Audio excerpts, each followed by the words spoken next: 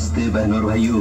बड़े ही कम शब्दों में आपको सुनाना चाहता हूँ। उस साल का लोकप्रिय गीत ये ये ये।